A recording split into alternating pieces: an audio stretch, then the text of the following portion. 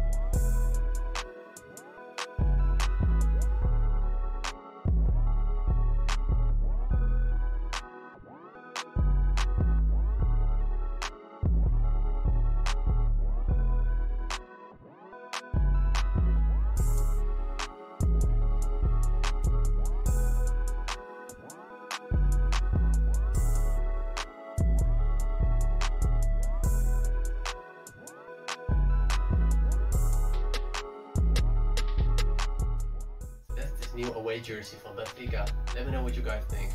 I like this one. It's really nice to have this jersey. The uh, colored stripes in the center of the jersey is uh, really cool. And also uh, uh, the return of Di Maria to Benfica. So it's absolutely amazing to have a uh, new Benfica jersey with Di Maria on the back.